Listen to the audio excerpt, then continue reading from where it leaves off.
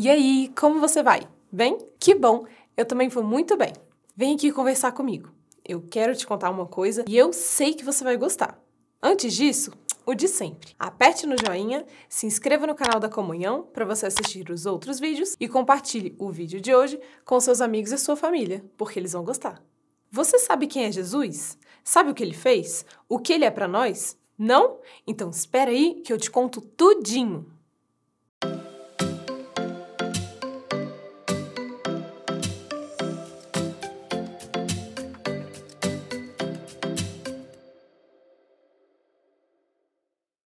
Você lembra que Deus é nosso Pai do céu, nos ama muito e nos dá muitas coisas boas, como nosso corpo, nossa família, a natureza e muito mais, não é mesmo?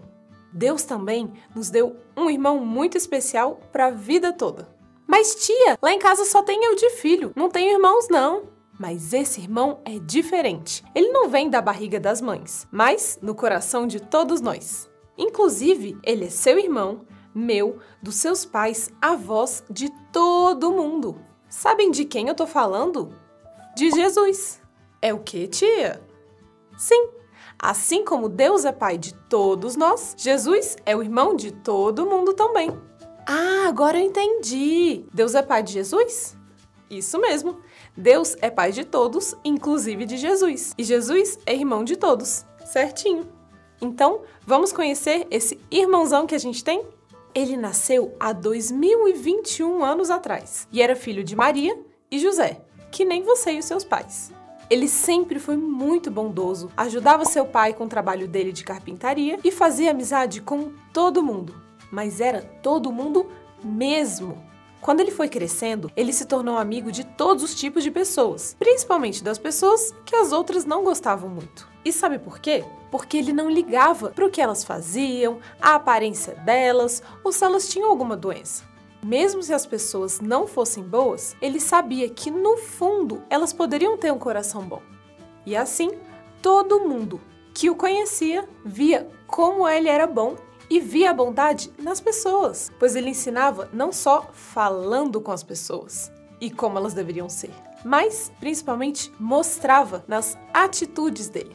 As pessoas perto dele queriam ser melhores e amar todo mundo do jeito que ele fazia, pois era muito bonito de ver todo o amor que ele sentia.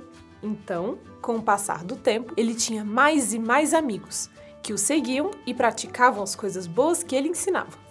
Você sabe quais são esses ensinamentos dele? Amar a Deus, que é o Pai de todos nós. Amar nós mesmos, cuidando do nosso corpo, da nossa vida, que foram todos presentes de Deus amar as outras pessoas, cuidar delas e só fazer o bem para elas, pois elas são nossos irmãos. Cuidar da natureza, dos animais, plantas e tudo mais que tenha na natureza, pois são criações de Deus. Fazer o bem, ser gentil e ajudar a todos, sem olhar quem são.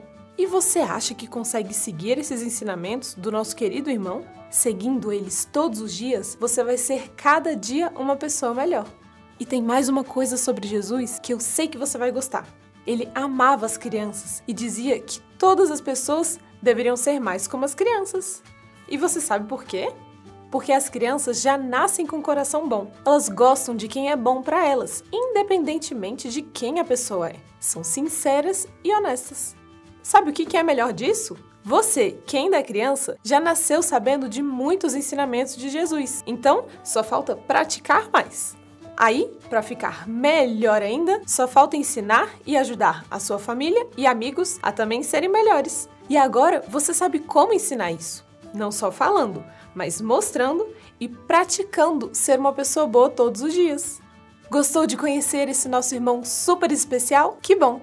Se quiser lembrar mais ensinamentos dele, assista os nossos episódios anteriores. Eles ficam lá no YouTube, pertinho do vídeo de hoje. O meu nome é Cecília e o nosso programa Spirit Kids, da Comunhão Espírita de Brasília, volta na próxima quarta, às 5 da tarde. E eu vou estar esperando você bem aqui na semana que vem para a gente conversar mais um pouquinho. Um beijo!